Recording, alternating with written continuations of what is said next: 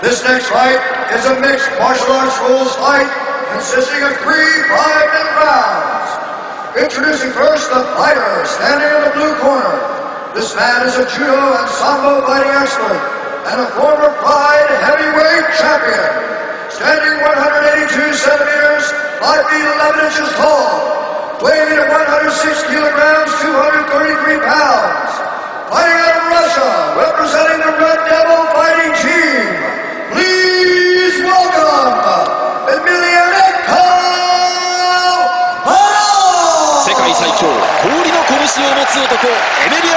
And his opponent, standing across from ring in the red corner, this man is a wrestler and a former IWGP heavyweight champion, standing 183 centimeters, 60 tall.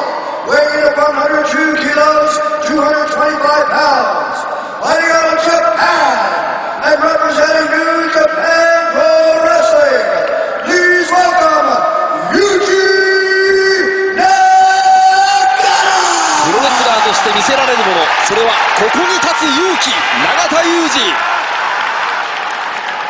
さあ2年前の屈辱その借りを返すことができるか永田裕二。この猪木ボンバイエのリングに帰ってきました。猪木ボンバイエ総合ルール5分3ラウンド引き分けはありません。さてまず高山さん。永田の IWGP 柔道防衛を止めたのは高山さんです。改めてこのリングに向かう永田の気持ちを表現してみてください。そうだね、本当にもう2年前の屈辱をね、なんとか払拭して、またあのベルトを巻きたいんだろうね、そのきっかけを作りたいんじゃないかと思う。ですね。ただその壁はあまりにも高い世界最強エメリアエンコ・ヒョードルプロレスラーとして永田裕二が向かいます。さあ未知なるこの戦いエメリアエンコ・ヒョードルとの総合ルールでの戦いになりました組み合っています。さあパンチでこの距離を取りました。打撃に行くよりもですね、ええ。今みたいな差し合いで、え足を取りに行ってレスリングに行った方がいいかもしれないですね。まあ、永田のそのバックボーンはまずレスリングですからね。一番その、うん、あと付き合わないですね。そうですね。あの三歩柔道で鍛えたですけれどパンチが多いですからね、はい。さんね。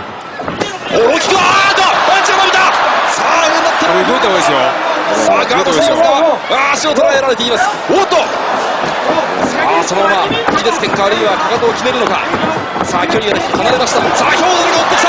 ヒョードルが追ってきた。中田は見らない。差し合いですね。差し合いで差し合いの方がいいですね。うんここでまず胸を合わせてうんという隙間がどうだどうだこのパンチは正面には正面にはダメですね。そうですね、あーというは、防戦一方、そして上からパンチ、氷の拳が落ちてくる、止めて、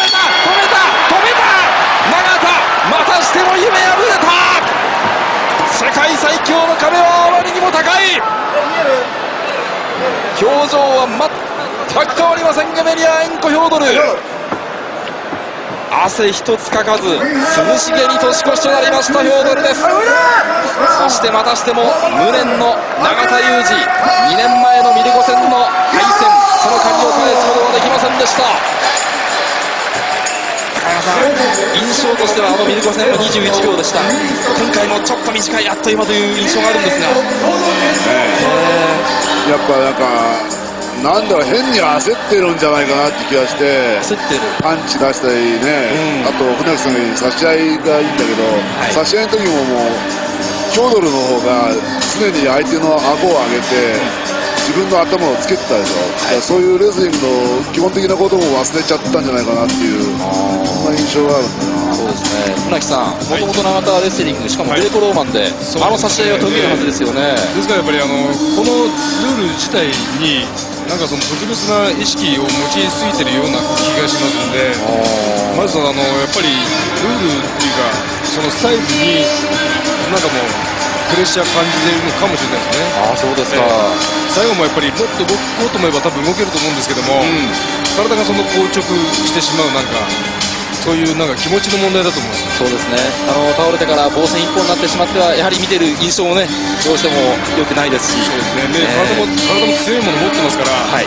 絶対にあのなんとかできるはずなんですよ、はい。やっぱり意識の問題だけだと思います。ねあの2年前ミルコのハイキック一発で沈んでしまったその永田。雪辱を果たすべく猪木の作ったこのリングに向かいましたがうんまたしてもその借りは今年完済することはできませんでした。今ジョシュ・バーネットがその声をかけます。今一度プロレスラーとしてこのリングに立つことに我々は強い勇気を与えられましたがしかし永田がこのリングで世界最強の男を倒すという結果は残せませんでした。改めてあまりにも強すぎるこのエメリアエンコ・ヒョードルその実力を見せつけられました。スロー VTR ですがこの今下からのパンチでちょっとぐらついて船木さんここから得意の体勢持っていければよかったですよね。タックルとか片足タックルとかで持ち上げたりとかしてはいできれば上になってほしかったですね。そうですね。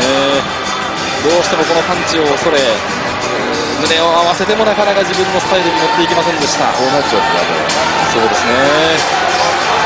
その青いタイツに描かれましたライオンマークが泣いています。